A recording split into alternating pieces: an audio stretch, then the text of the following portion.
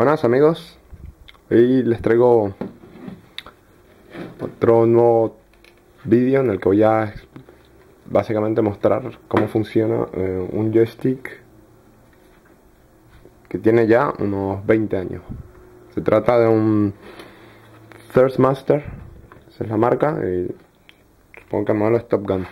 Este es un joystick que me compraron a mí cuando tendría, no sé, 8 años o por ahí, no recuerdo la verdad, pero tiene unos 20 años, creo que es del 95 o 96, no lo sé. Pero de esa época vamos, es un joystick pues básicamente se mueve y ya está, uno lo mueve y listo. Y eh, no es un joystick USB, para entonces el USB era una cosa un poco, vamos, moderna, por decirlo de alguna manera, o bastante moderna. No sé ni siquiera si existía, yo creo que sí, que ya existía el USB, al menos el 1.0. Que yo tuviera mi PC, puede ser que no. Pero vamos, este era el puerto típico de mm, Gaming Port, o no me acuerdo, algo así se llamaba. Y básicamente eh, se conectaba a la tarjeta de sonido en aquella época. supongo que algún PC tendría para conectarla a la tarjeta madre, eh, quizás. En cualquier caso, lo que voy a mostrarles es eh, qué hay dentro y básicamente cómo seguramente funciona. Yo más o menos les puedo decir seguramente cómo va a estar hecho. Eh, seguramente solo tendrá pues eh, quizás una pequeña fuente, aunque no sé qué, tensión saldría de este puerto de, que lo alimentaba. En cualquier caso, a lo mejor tiene algún regulador y tal, puede que no, puede que ya viniera la alimentación de aquí. Lo que sí está claro es que van a haber eh, pues un par de joysticks por lo menos que nos dan la dirección, quizás uno aquí y otro aquí, o aquí y aquí, uno para el eje X y otro para el eje Y. Los pulsadores que, bueno, se han caído, tenía un botón aquí y bueno, el pulsador de aquí. Y esto será eh, por el sonido, eh, yo entiendo que serán pues, o, varios botones alrededor, y lo que hace esto es empujar, o una especie de joystick pero digital, es decir, no es analógico como el de la PlayStation, por ejemplo. ¿Ok? Solo por la forma de movimiento que hace ya les puedo decir que es así. Y eh, además pues, puede tener un micro o algún integrado que, que, reciba el input de los botones y ya está, y lo digitalice. Eh, sobre todo de los, de los potenciómetros que tendrá aquí, que serán potenciómetros, digamos, de estos que, que varían en un eje y ya está. No creo que tenga mucho más. En cualquier caso, vamos a ver qué es lo que tiene. No sé cómo voy a empezar a desarmarlo, supongo que por aquí. Mm, tiene cuatro tornillos. Abajo por lo menos. Puede que salga de la cámara mi, lo que estoy haciendo, porque en realidad la cámara la he puesto un poco, digamos, como, como podía, porque no tengo aquí mi,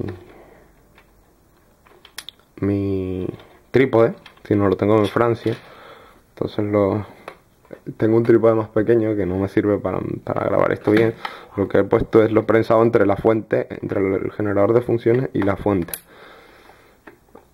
Y lo tengo, digamos, eh, de manera haciendo, estando en paralelo con el suelo. Por eso se ve desde arriba. Y además lo tengo invertida la cámara.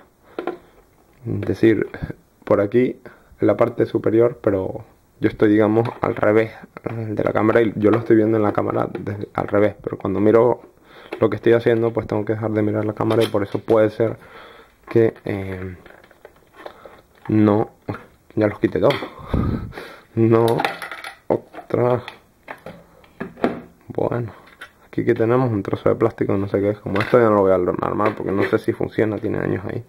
Esto que tienen aquí esto es muy típico eh, esto lo que son son pesas. No es más que un, trozo de metal que pesa bastante, la verdad. No sé si es plomo, plomo no es. Creo que es un trozo de hierro y ya está. Y con unas bolsas para que no, digamos, no suene y tal, si se espela y no se oxide. Pero básicamente lo que le da es peso para que el, joystick pues sea, se pueda controlar con la mano sin que se, se moje para todos lados. ¿Vale? Luego aquí, como ya les había dicho, esto lo que tiene son dos potenciómetros, uno aquí y otro aquí, era, de prever. Entonces, ¿qué pasa? Cuando esto se mueve, cuando yo muevo la palanca hacia atrás, ¿ok? ¿Qué pasa? Que aquí estoy girando este potenciómetro, ¿vale? Y no es ni siquiera un potenciómetro lineal, es un potenciómetro normal.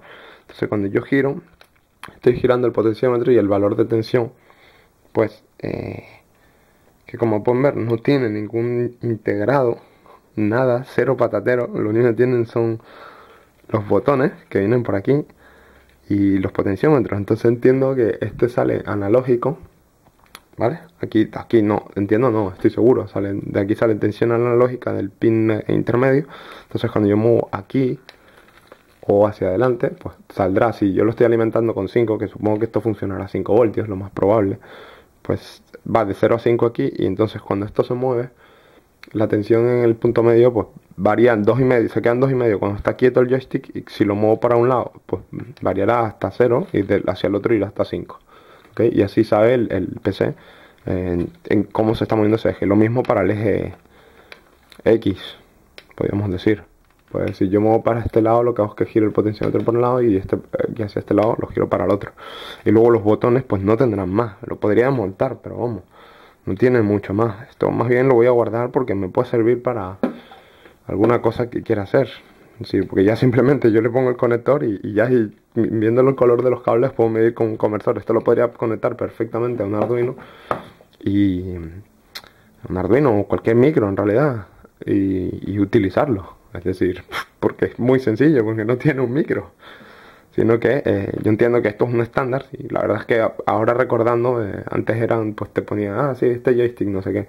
Y al final eh, era podías crearte tu propio joystick, digamos, tu propio driver del joystick en, Windows y te decía, bueno, ¿qué ejes tiene? X, Y, tal.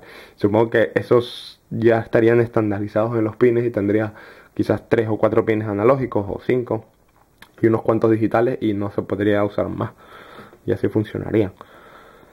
Porque ya les digo, no tiene nada. Yo esperaba un, aunque sea un micro y tal, porque pensaba que iba a, digamos, era el micro el que se encargaba y iban los datos digitales. Pero bueno, parece obvio que no es así por el hecho de que no es, por ejemplo, por USB que tenemos un puerto serie, sino para eso necesitaban todos estos pines. Para cada pin utilizarlo para algo. Y bueno, tiene lógica. No es lo que yo me esperaba exactamente, pero vamos, sí, esto sí, porque este, estaba claro.